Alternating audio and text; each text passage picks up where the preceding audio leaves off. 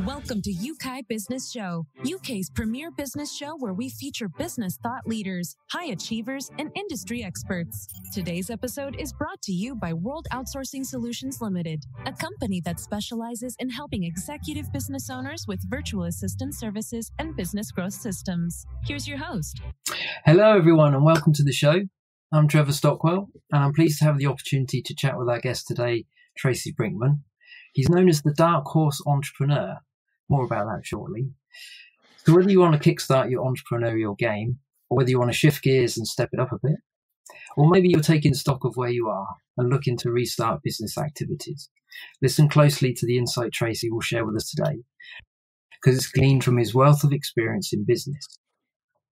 He has a background in marketing for some of the finest companies in corporate America, and he's now a business and success coach. Always good to listen to a coach. And he also hosts a podcast to help entrepreneurs. So welcome, Tracy Brinkman. Hey, thank you so much. So I'm glad to glad to be here. Thank you for having me on. No, it's great. I'm looking forward to chatting with you today. So maybe before we jump into all those things and dig in a bit more, so you, you run the Dark Horse Schooling website. Um, right. Tell us a little bit about yourself and, and what brought you to that name. You know, uh, across the course of my life, uh, my mom and dad, God love them. They uh, they were always one of those those folks that said, you can do it if you put your mind to it, right? Which was a great start for any youngster out there. Uh, but uh, you know, usually once you stepped out the door of my home, not everyone else in my, even in my inner circle, were like, "Are you sure you want to do that?" You know, and and I think a lot of times they they they have great intentions in mind. You know, they don't want to see you get hurt or see you fail or anything like that. But I was one of those guys. I was always I was always hustling, and I mean that in a great sense from a young age. And I can remember being in elementary school, we had a machine that would dispense pencils. You'd put a nickel in, you'd get a pencil or two. And so I would, you know, put a nickel in get a couple pencils. And in class, if someone needed a pencil, I'm like, here, it's a quarter right? You know, supply and demand, right? They couldn't leave the class to go get a pencil.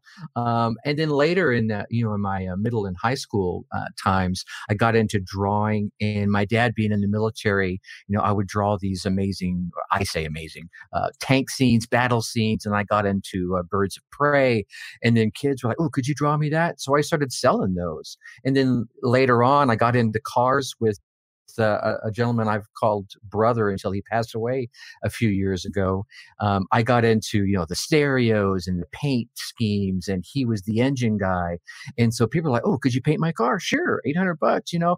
And it was just so from from day one. I think that entrepreneurial spirit was within me.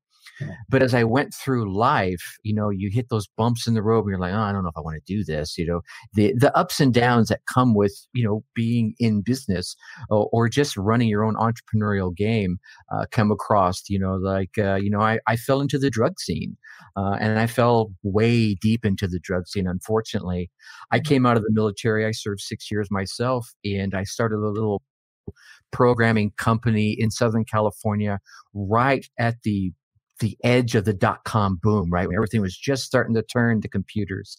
And uh, so this is really the first time, and I was probably early 20s, that I had serious money in my pocket. Uh, and in Southern California, you can come across some of the wrong types of people, especially we're talking, you know, the early 90s when speed and cocaine was blowing up in that, in that time frame.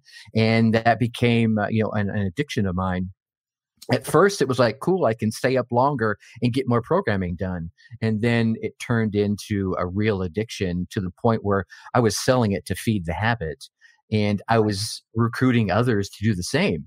And uh, you know unfortunately i learned how to manage people as a result of that. Not a good lesson but a good lesson.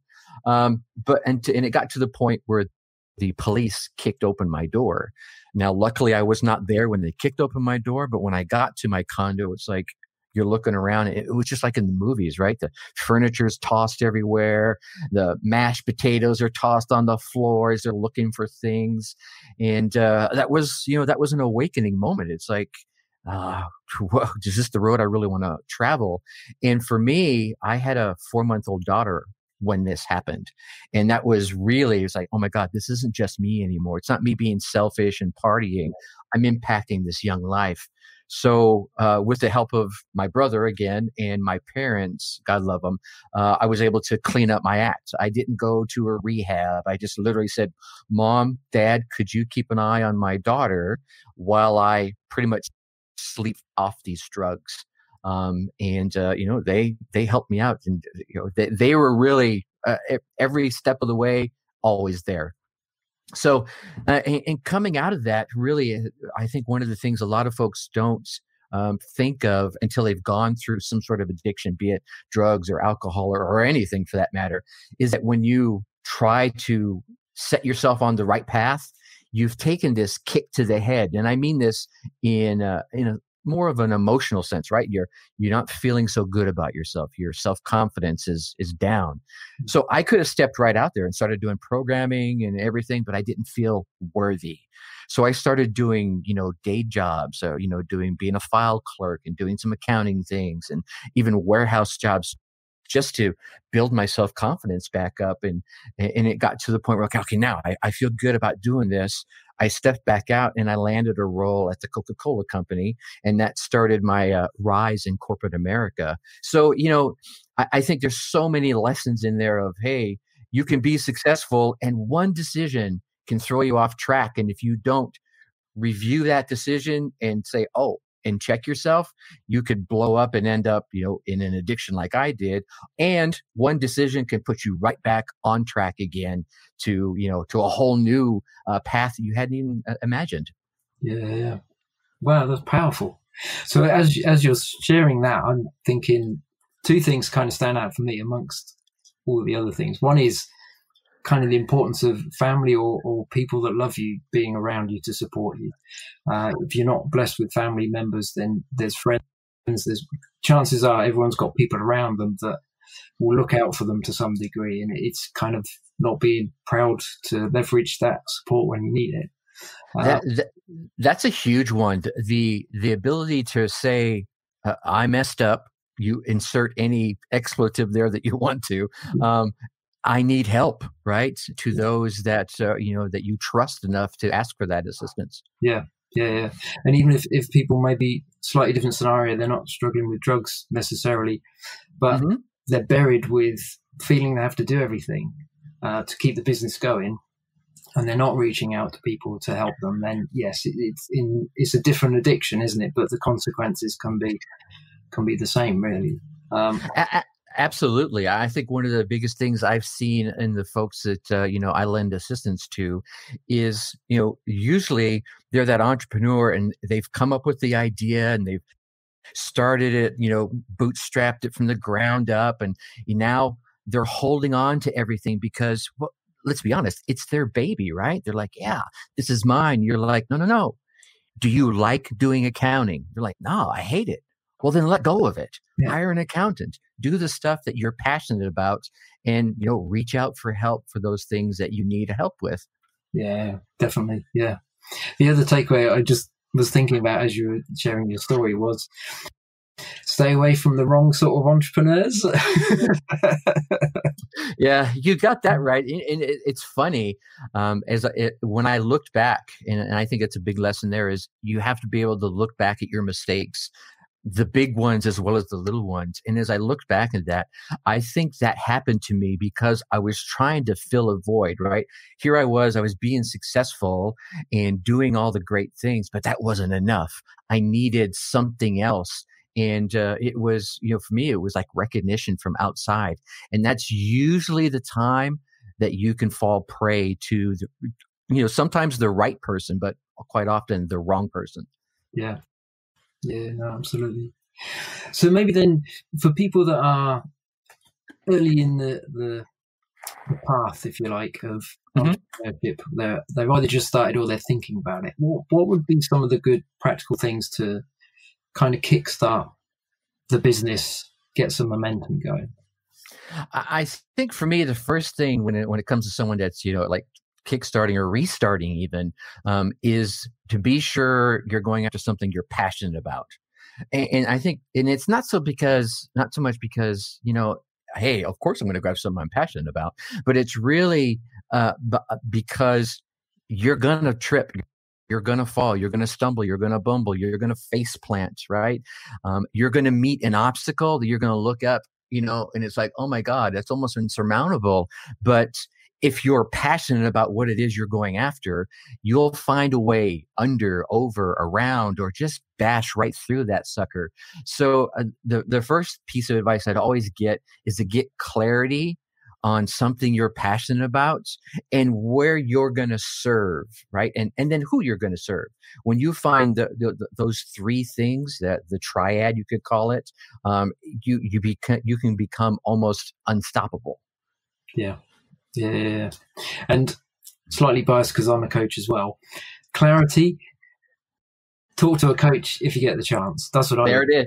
Um, I, I always I always tout that. I mean, and it doesn't have to be a coach you pay. I mean, I, when I first started off, um, I had a mentor, you know, and I was lucky enough to be exposed to that in the Coca Cola organization, and a mentor that can take you under wing and teach you things that you're like, oh my god, I just shaved years off my learning curve by doing that. It's it's a great tool.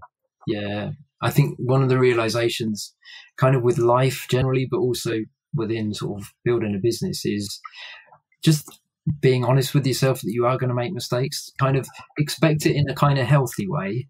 Um, yeah. Hopefully, you don't completely make mistakes all the time because, yeah, that's not not where you want to go. It's, it's a part of life, isn't it? Like we're not born entrepreneurs, experts at businesses generally. Well, I've never met anyone that is so far. So it's it's having enough grace with ourselves that we're going to make mistakes, but also mm-hmm.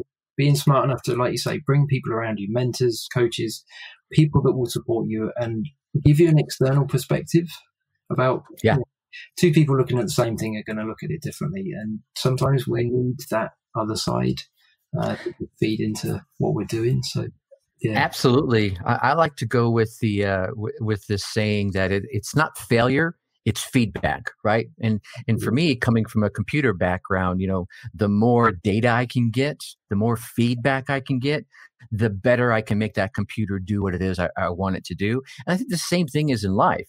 You step out, you do something, and whether you think it's successful or not, you got some feedback. Now you have new data more than you had before you stepped out. So now you can assimilate that into your next step, and then hopefully you'll get the the feedback you get you wanted next time. If not, rinse and repeat. Yeah, absolutely. Yeah, life is, is a journey of tweaking, really, isn't it? right? A degree at a time. That's all it takes. Yeah, definitely. Definitely.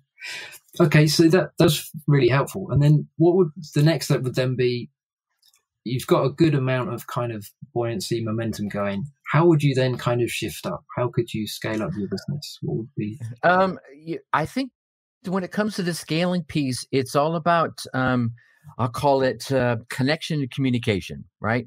Um, I, I, like to uh, base all of my coaching around what I refer to as the, the six C's of entrepreneurship. So we talked about clarity, all right? The next two that really can help you with scaling and really ramping up from uh, when you first start is connecting with who it is you want to serve. And, and I refer to them as your tribe, right? So you're going to have maybe your your help whatever it is you're doing helps a thousand people. Well inside that thousand people you're going to have you know 10 or 20 that are really those raving fans that's that that small tribe uh, getting and connecting with them and finding out what is maybe what else there is that their needs are and, and then even those that aren't in the tribe if someone comes back to you and says you know your program was okay. If it had had this or if it would have had that you want to listen to that because that's that's that feedback again that you can say oh well that's really easy for me to incorporate. So hey I'll, I'll, be happy to add that back in you know and then so and that obviously becomes that communication um, you know to and it becomes a two-way street right? You can't just you know we can't just run our mouths. We got you know two ears and a mouth and i even go so far as says you know what? You got two eyes two ears and a mouth. That's probably the ratio you want to be using it at yeah, yeah, it's good. Yeah. now that's good. You've got interested now. Then, so what are the other three C's? okay, um, the the other three C's. I mean, get my little cheat sheet up here. Uh, the so the fourth C becomes capitalization, right? This is all about you know charging what you're worth, and I think the biggest mistake a lot of uh, entrepreneurs, even seasoned entrepreneurs, make is they try to rush to this fourth C. They haven't made that clarity. They haven't made that communication. They're, they're they're not doing the uh, uh, the connection with their tribe.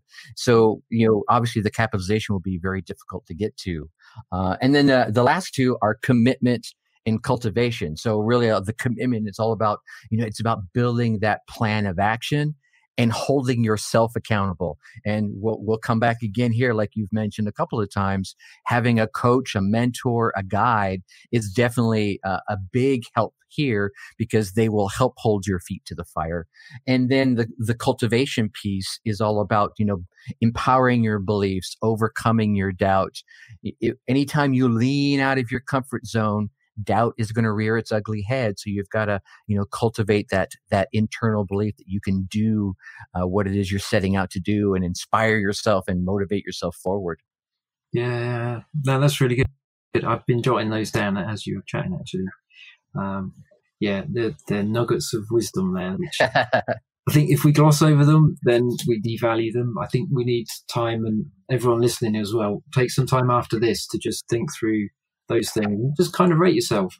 Okay, where am I with regards to clarity? Where am I with regards to connecting? You know, uh, capitalizing and, and, all the others. I won't go over them all now, but um, yeah, definitely. I think that's um, there's a lot of value in that.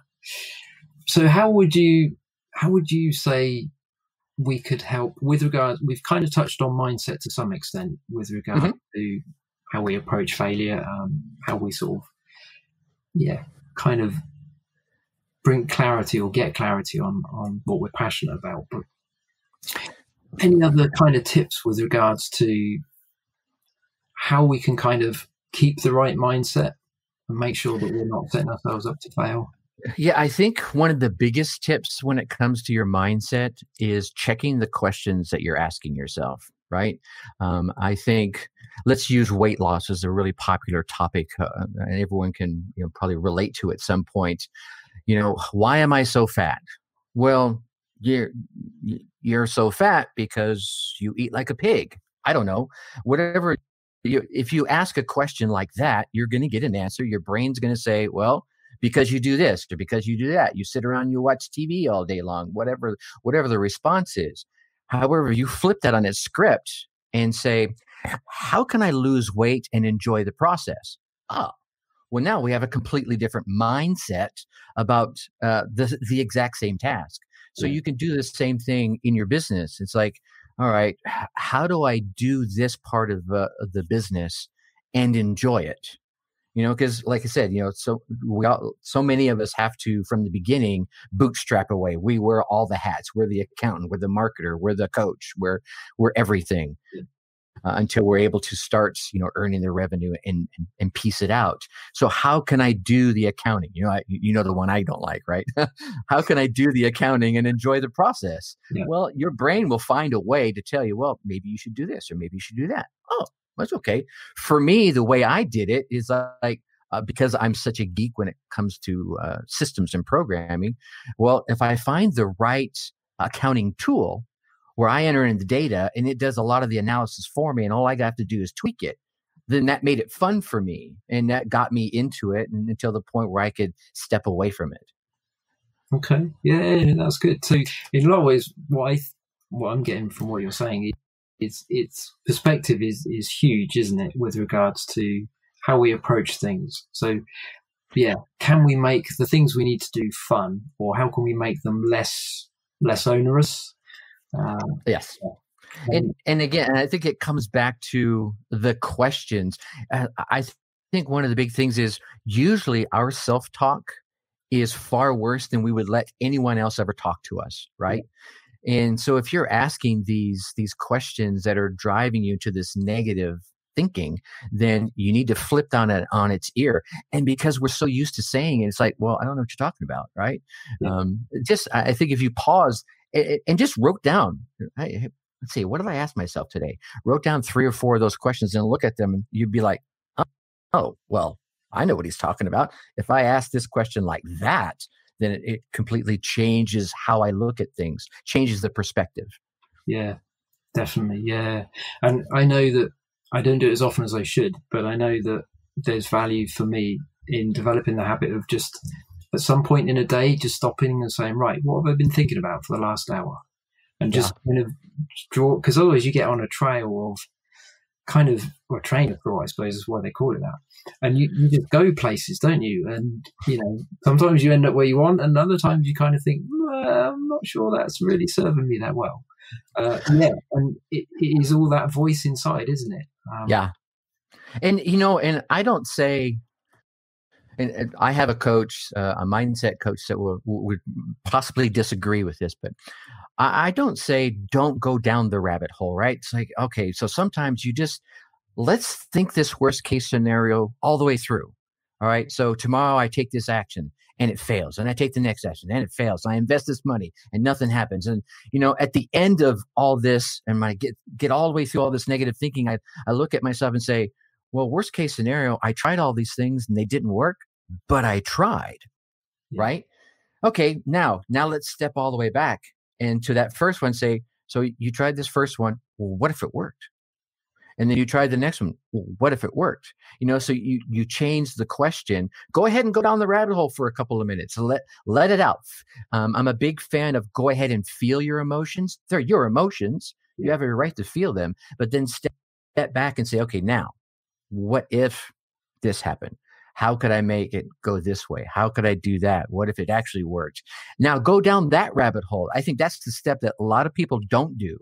All right, I've gone I've gone down the dark hole. Let's go to the light side and see how that feels. Oh, well, that's just as awesome, right? So it's uh, either either one could happen. Usually your worst case scenario won't happen. It'll be somewhere in between. And once you accept that, then it's a it's a much better, more productive way of thinking. Yeah, yeah. And it's I like the way you say it because it is like to choose to go down the rabbit hole is you've already got to that level of self awareness that you realize that's what it is. So you're mm-hmm. aware of what you're thinking and you're intentional about exploring that avenue with the view that you can come back and yeah, go down a different way if you need to. Uh, Absolutely. Uh, that's powerful. Do you have any kind of sort of personal techniques that you use that, that helps keep your mindset on on track? The reason why I ask is for me, like over the different interviews, we talk to our different guests about mindsets. Um, a because it's huge, uh, it affects us every day, but also mm-hmm. from my experience, it's like you can't master it once and then live off the benefit, can you? It, it's an ongoing kind of regular. What am I thinking? How am I doing? How is it serving me? Just a review every now and again. Um, do you have any kind of? How do you check yourself? Um, two big ways. One is if I find myself uh, going towards the you know the angry side, then the negative side, the doubtful side, it's literally going, okay, all right, why am I thinking this? And again, like I said, it's uh, okay. I'm going to ahead and feel these emotions for a couple of minutes here. Acknowledge the fact that I'm I'm mad, I'm doubtful, I'm I'm whatever this negative emotion is now how can it you know what is it that sparked it and how can i steer it back the other way? And eh, sometimes you're, you're like I, I just don't know Uh, I, I just woke up mad you know okay well that happens for me, the other thing that I do is I'm a big music guy. I'm a mood music guy. So there are different types of music. I have some, I listen to everything from ABBA to Zappa, from, you know, from Five Finger Death Punch to Kiss to Metallica and Michael Jackson and Tupac. And they all have a different mood for me. So if I'm looking to push myself into a certain mood and I can't do it through that, you know, the in the inner reflection, I'll flip on some music. Ah, now I need to be inspired. Well, let's drop some Queen on and, you know, let's listen to some jazz or whatever it is that inspires you to help take you back to a moment when you first heard that song. You're like, ah, now I feel that energy. Now, with that review, that renewed uh, um, perspective, you can go back and review that question, and that usually fixes it for me. Yeah, yeah. Yeah, it's like building a conscious environment around you that supports where you want to go, isn't it? Yeah, and you, but you have to be intentional about it. I mean, if you just, like you said, if you just let yourself go down that rabbit hole, it gets harder and harder to get out. Yeah, yeah, absolutely.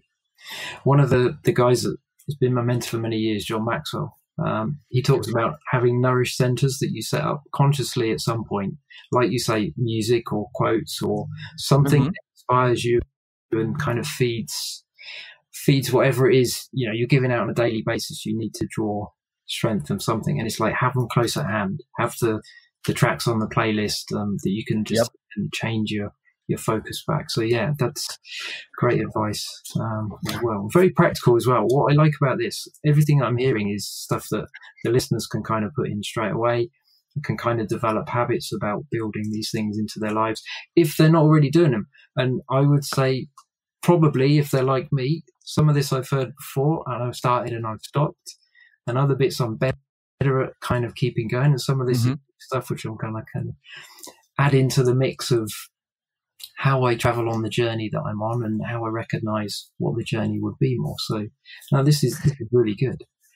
I think one of the cool things about uh, about personal development and, and, and learning things like this is, um, uh, especially in a, in a format like this, or even in a book, or however you however you absorb these things, is today you'll glean nugget A. Oh wow, wow!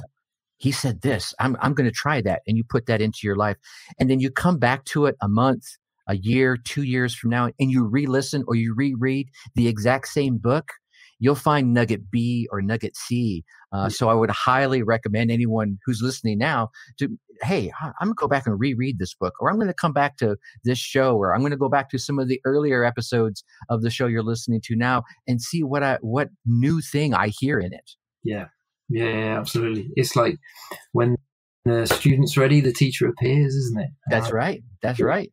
Yeah, I know from experience. I've done that. I've listened to a message and thought, how come I never caught that before? Uh, right. Uh, he didn't say that last time, did he? yeah, absolutely. Yeah, yeah. it's yeah. I know what you mean.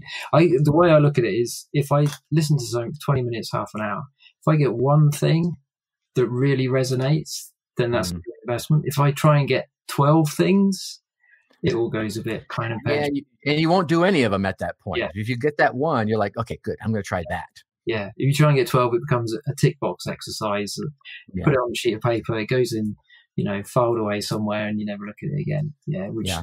you know it doesn't serve anyone, does it really? But yeah, no, you get one thing that you can work on, grab it, run with it, and then the next thing happens. Mm-hmm. And I think you can you could actually pivot that to all your entrepreneurs that are out there is that they when they start they usually have that one thing oh here's here's what I'm trying to accomplish. Here's how I'm going to serve my audience. And as they start going down that path the shiny object syndrome appears right? Like oh what about YouTube? Oh no wait a minute facebook lives? Oh no wait a minute tiktok? You know and all of a sudden they're that one thing has become 12 things and none of them are getting done. And if they are, they're not getting done very well. Where it's like, okay, I'm going to stay focused and I'm going to I'm going to get really good on this platform, whatever this platform is, podcasting, Facebook lives. And once I know that is, you know, up and running and humming, well then I'm going to try over here or over there or I'm going to hire someone to take the content from platform A and they're going to use their expertise to um, you know percolate it out to the rest of the platforms. Yeah, absolutely. Yeah, because you you dilute your energy otherwise, don't you? And you're effective. Right. Yeah. Do you have any kind of tips just on that, really? Um, because funny, as you were saying, I was thinking of different social media platforms. Um, how how can people find kind of where their audience is and where they use? Do you have any kind of tips on that? Or? It really, I and for me, it's usually where you're at is probably where your audience is at. Because for me um, uh, and, and the folks i try to work with you're usually trying to serve the person you were yesterday or last year uh, because you're just a little bit ahead of them in their journey um, and so they're a lot easier to find because they're where you're at. Um, now i say that and there's a slight deviation of that because i mean a lot of the folks that i serve are on LinkedIn. And I was just kind of inactive on LinkedIn for the longest time and, you know, started hyping it up over the you know, past couple of years. And I'm finding them there as well. So, you know, there's that, you know, you got to look for where you're at. And then you can start, again, this comes back to the, the communication, right?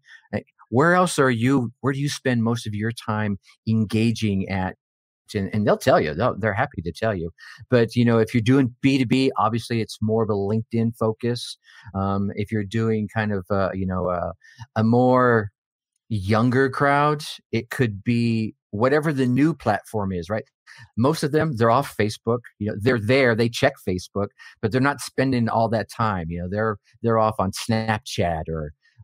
There's some new one my daughter was just telling me about i hadn't even heard of yet. Like, i didn't what is that? And you know and there are tools out there that you could utilize to see what some of the demographics are for the active folks from age group to uh, you know to um, you know uh, psychological profiles and yeah yeah. No that's really good yeah, it, it's it's the, the, long journey, isn't it? Like a business is it's more like a tree, isn't it? It's it's the marathon, it's not the sprint, and it's if you don't have to do everything at once, um, yeah, the best approach, isn't it? You start, you build gradually. Because I know one of the things you kind of um, you've learned is consistency, the power of consistency as well. Um, Absolutely. Yeah. And, and it doesn't matter. It doesn't matter which platform you're on. If you're if you're there consistently I, hey i'm here monday wednesday and friday or every day whatever your plan is they'll come to expect it and they'll come find you and they'll hang out with you uh, and vibe back and forth and then you know say hey sometimes they'll go reach out to you and say well why aren't you on linkedin or why aren't you on tiktok or why aren't you on this or that? And again you know listening right?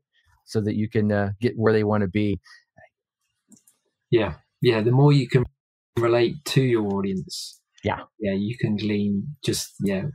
When they listen to you where do, where else do they listen isn't it? Who are the other people they're following? And yeah Absolutely. there's clues isn't there? If if we're smart enough to listen um, and to be open to feedback there are clues that can kind of help us in that.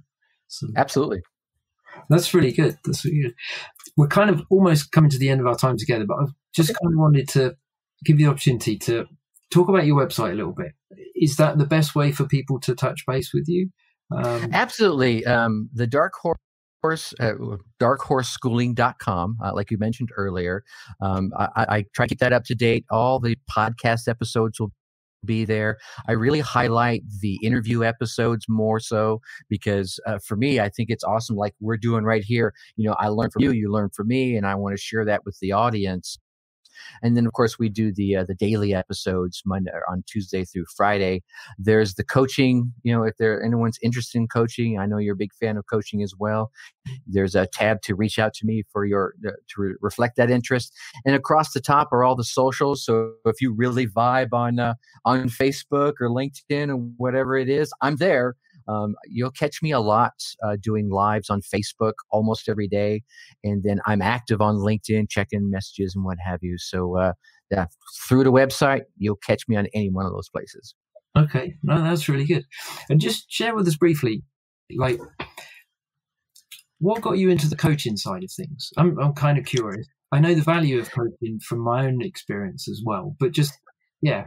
Like for me, it, it started back in my coca-cola days like i mentioned earlier i got that mentor and mm. really it shaved years off my learning curve and um, in my ability to climb the ranks within uh, corporate america and then i started being a mentor and it, it's almost self-serving because I felt so good in being able to help someone else level up in their you know corporate America journey that I took that outside of the corporate America field because I was doing all the personal development stuff and started coaching outside uh, of the Coca-Cola company. And like I said, it's it's almost because I get so much out of it watching someone else, you know, really develop up into who they were probably destined to become anyway.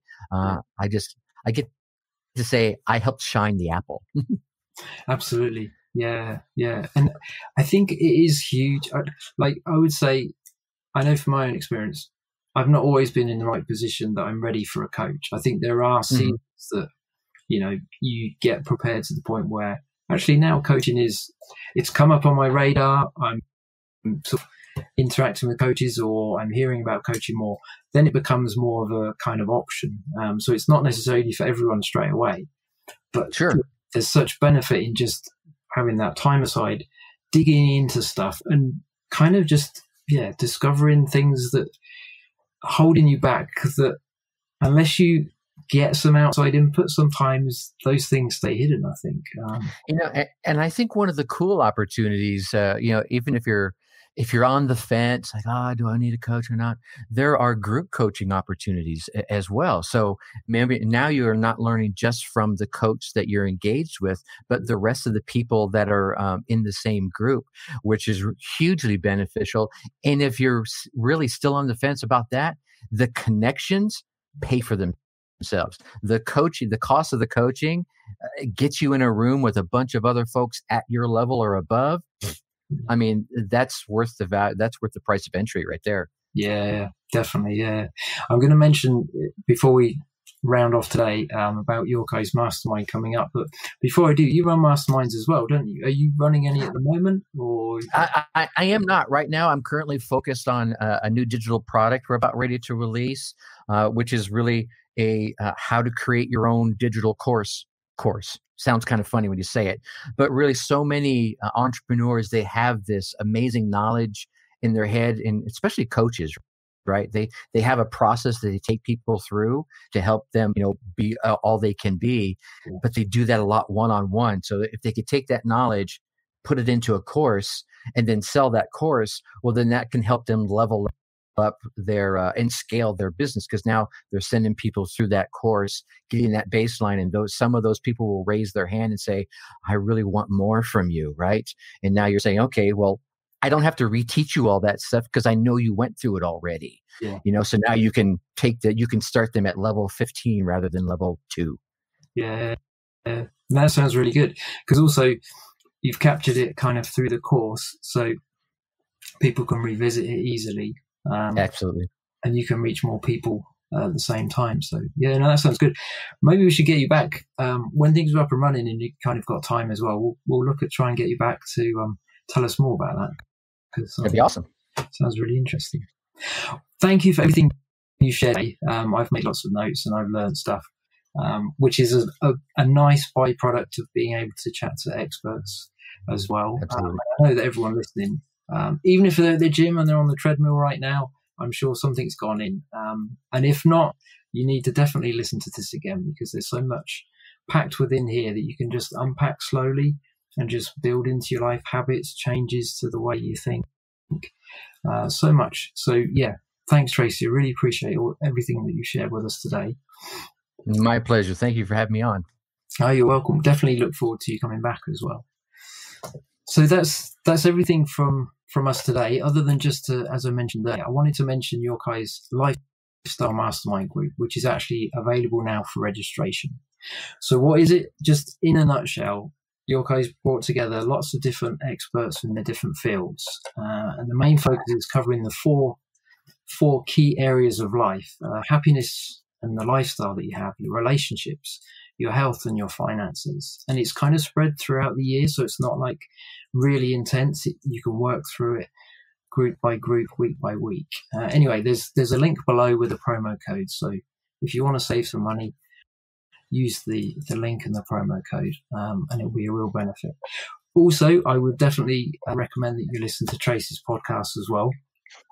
Lots of wisdom over the years that he's gleaned. So, yeah, there's there's some smart things that we can learn from smart people. Uh, that's the, the easiest way to navigate through life, I think, as we are. So, um, yeah, definitely avail yourself of that.